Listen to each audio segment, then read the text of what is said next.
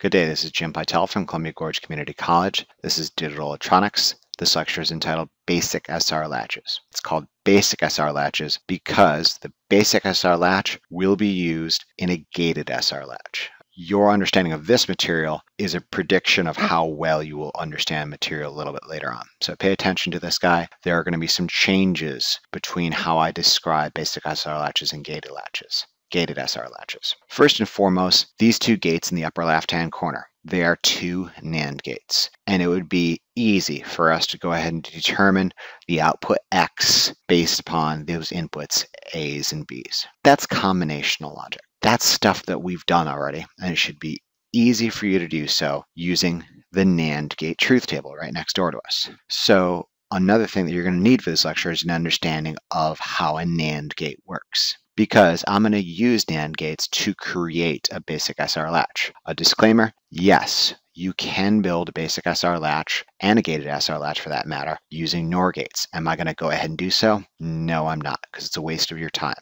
I'm going to show you one method of doing it, then I'm going to show you how the SR latch works in itself and whether it's made out of NANDs or NORs, it's of no concern to you. So like I said earlier, you could easily determine the outputs x0 and x1 based off the inputs A and B. That's combinational. Here's sequential. Not so easy now, huh? What we've got is this situation where cross-coupled NAND gates, where one NAND gate's input is the other one's output. And again, this other NAND gate's input is the other one's output. It's a feedback arrangement. Your understanding how this thing works here, it is using output as input. And the way that we're going to do this here is to actually just differentiate how these work. Just use them in different colors, if you would.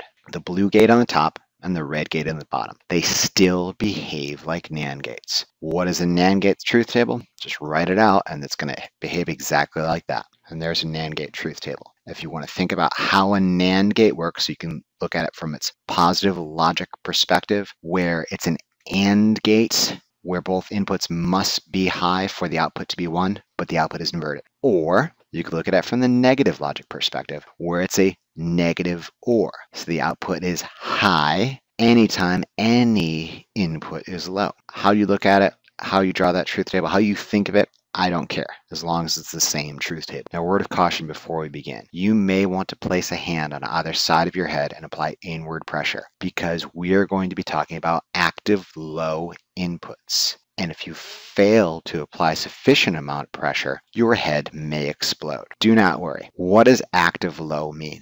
It means it takes a zero to get it to do something. One thing I want to draw your attention to in our basic SR latch diagram here is these terms not S and not R. What does the S stand for? The S stands for set. What does the R stand for? It stands for reset. If there's a bar over that S, it means it's looking for a zero. To set this latch, and I know we haven't discussed what set means yet. It's looking for a zero on the S input. To reset this latch, and I know we haven't discussed what reset is yet, it's looking for a zero on the not R input. Does that make sense? If a 1 is on the not S input, it's not setting it because it's looking for a zero, active low, right? If there's a 1 on the R input, it's not resetting it because it's looking for a zero on the not R input. Okay, now that we've gotten that out of this way, out of the way, before we even begin, just think about the term latch. It's kind of like a lock. If you've latched a door, or if you've unlatched a door, you know, you locked a door or you unlocked a door, there is no such thing as an in between state between a locked or an unlocked door, or a latched or an unlatched device. It's locked or unlocked. It can never simultaneously exist in that state. Okay, and that's what our outputs are indicating Q and not Q. If for a latch to work, Q and not Q must be opposite of each other because it wouldn't make sense if the thing that's supposed to be opposite is the same as its original value. That it just doesn't work that way. This concept of latched and unlatched. And additionally think about when you lock your door. When you go to class for the day and you leave your house you're going to lock your door. And when you walk back home that night, ideally, your door is still locked. When you unlock the door and you walk away, you come back, it's not going to magically lock it by itself. So what I'm saying is, is when you latch something and provided the power is still on, you should stay in that condition. That's the basis of memory. Okay, it's going to stay in a condition until it receives another input. Okay, let's go back to this basic SR latch. Now we've kind of diverted and done some definitions here, and I scared you about some active lows. Look at the two inputs, not S and not R. And we have two outputs. Technically, we only have one, you know, Q. What's not Q? Well, it's not Q. Okay, we have two inputs. One just happens to be the complement of another. By the way, complement complement is to provide good feelings and you know generally uh, flatter someone. You know, compliment spelled with an E um, is the inverse of something. Okay, so don't make those spelling errors. I know I've done it before. But anyways, okay, um, two inputs, not S, not R. Two outputs, Q and not Q. If there's two inputs to something and there can only be binary inputs, 0 and 1, how many possible combinations of inputs could we have? Well, 2 to the 2, four possible combinations. And I typically write it 0, 0 down to 1, 1, but what I'm actually going to do is write it backwards, and you'll see why in a little bit. Here's the possible combinations. We're going to go 1, 1 down to 0, 0. You'll see why in a second. And that is our truth table right there. Those are the only four combinations of input that we have. And just think about the terms not S and not R.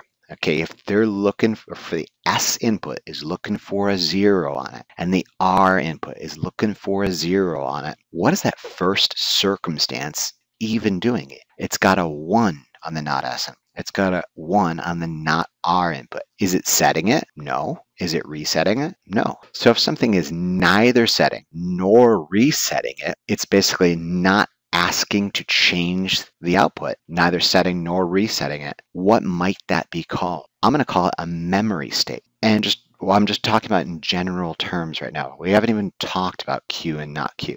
Now let's go on to the next one. If it's looking for a zero on the not S input and there's a one on it, is it setting it? No, it's not. If it's looking for a zero on the not R input, what is it doing? Well, it's active low. It's got an active low input for the reset. Next occurrence, there's a zero on the not S input. What is it doing? it's setting it. And now this last occurrence, and this is the reason why I put this as the last one. Can you ever simultaneously set and reset something? Could you ever simultaneously lock and unlock a door? The answer is no, you don't use it. It's invalid. So those are kind of the names of the states or its its mode. Let's call it a mode. Okay, and the reason why I have not placed the output Q on here is because it really depends. What if it was, if there was input on a Q previously, what is the output gonna be when it's in memory mode? Well, what was on there before? It depends upon these initial conditions. And it is super, super easy to get lost in one of those which came first, the chicken or the egg games. And what you're going to do is be chasing zeros and ones all the way around these feedbacks. So what you do is you provide what's called initial conditions. And it will work all the time, regardless of your initial conditions. So let's call our initial conditions for the purposes of this analysis, and I could choose whatever. Let's pretend Q is a zero. What is not Q? Well, it's the opposite, should be a one. So this is my first analysis through this if Q was a zero, and by extension, not Q is a one, and I'm in this first condition, excuse me, first mode, memory mode. I am neither setting it nor resetting it. What do you think Q is going to do? It's going to stay the same.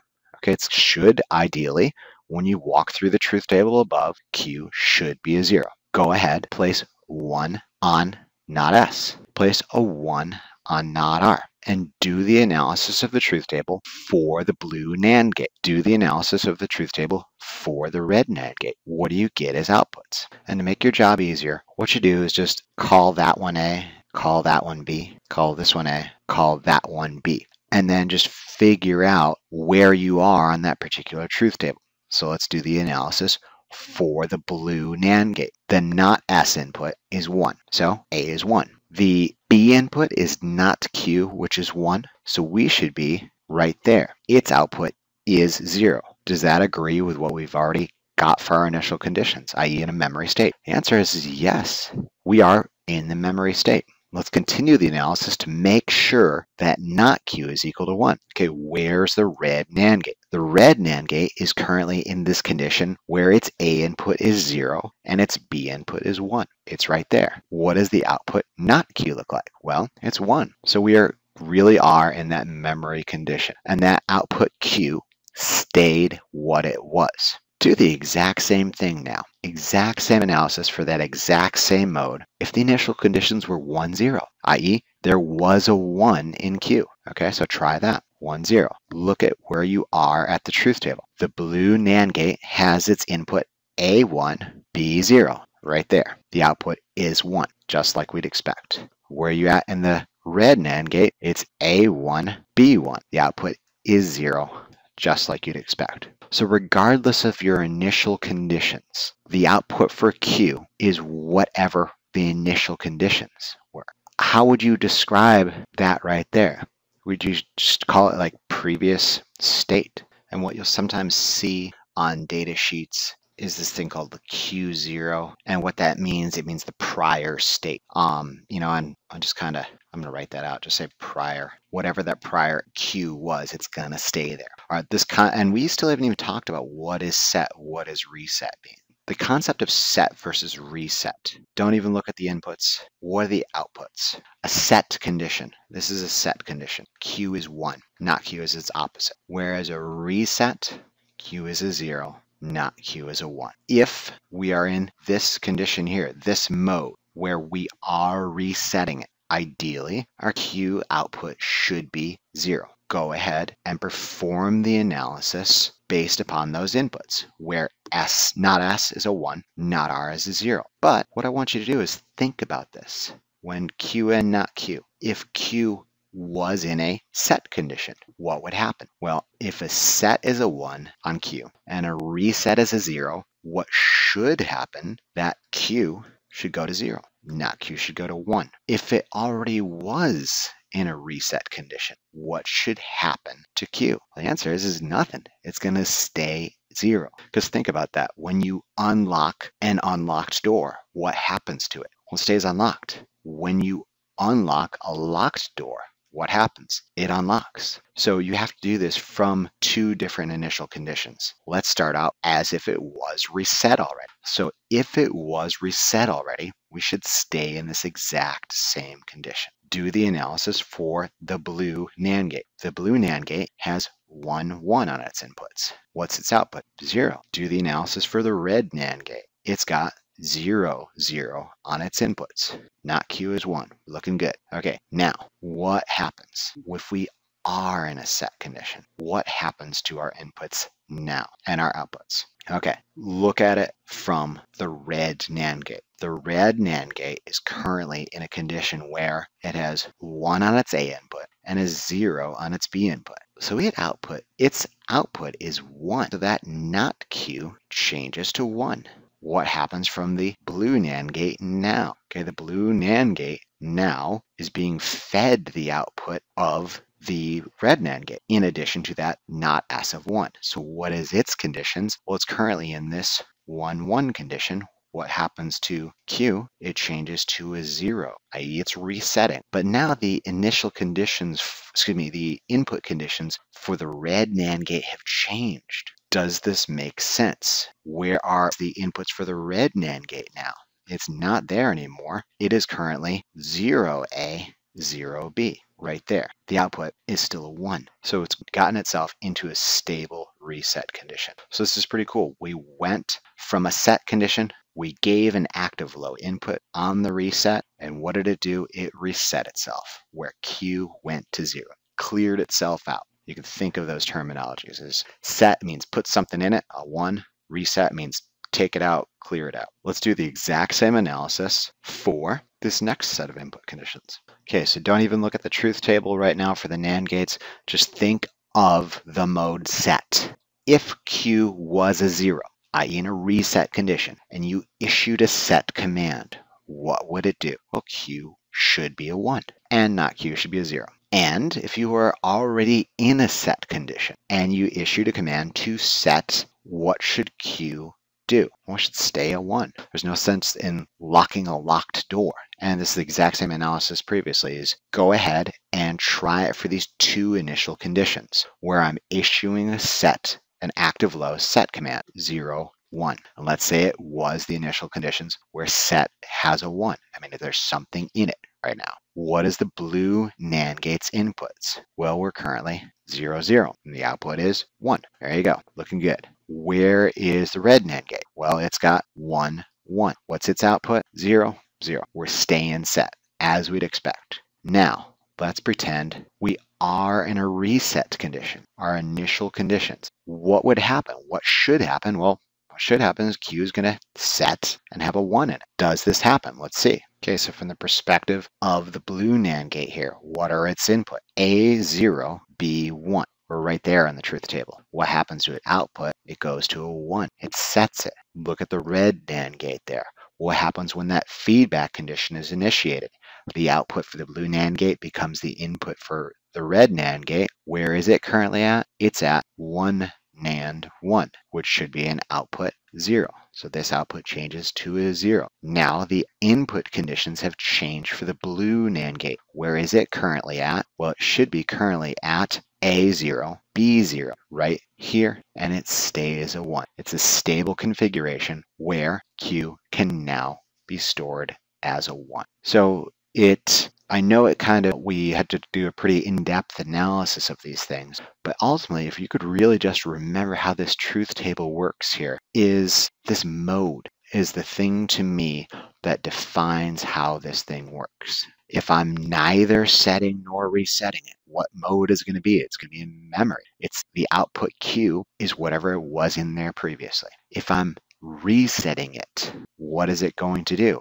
Well, it's going to go to a zero. If I am setting it, what is it going to do? It's going to go to a one, regardless of what was in there. This last one, invalid. If I try to simultaneously set and reset this thing, what happens? It explodes, just like your head. Okay, no, just kidding. Um, what you're going to get is this invalid condition where Q and not Q have the same value, which is not true. It's an invalid condition. Additionally, say for example, the inputs not S and not R ideally should look something like this. So there's our brief active low pulse and what's happening there, what that's implying is we are trying to simultaneously set and reset, which we know is wrong. However, on the transition back to a one, does it ever occur simultaneously? The answer is, is no basically the last one with the zero is going to be the condition it ends up in. Say, for example, the S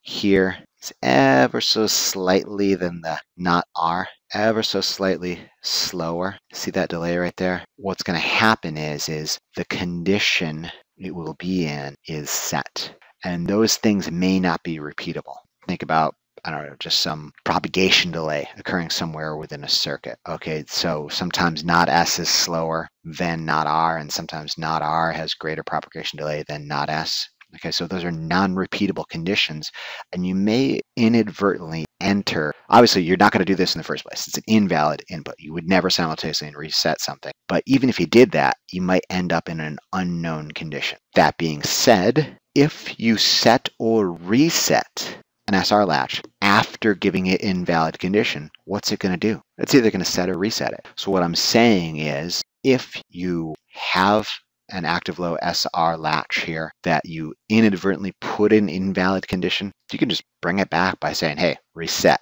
Where is it going to be? It's going to be in the reset condition. Okay, does that make sense? And again, just think of not necessarily even the values on that Q, just think of the mode, the descriptions of these modes. If I go to the invalid region, then I go to reset. Where am I going to be? I'm going to be in condition zero as my output. Problem would be is, is going to that invalid and then going to a memory. Okay, that's that wouldn't work. Let us make this ever slightly more usable. Okay, so the basic SR latch, it's not exactly the most usable latch, obviously because of this invalid condition, and additionally because it's active low. Okay, because some of y'all's heads exploded. What we're going to do is try to put in an enable signal on this. And this goes back to one of our previous lectures, active low enable or active high enable. Positive edge detection, negative edge detection. Basically, what we're going to do is we're going to add some functionality to this basic SR latch, and at certain times, it's just going to ignore those inputs because it's not enabled. Okay, let's go into that with gated SR latches.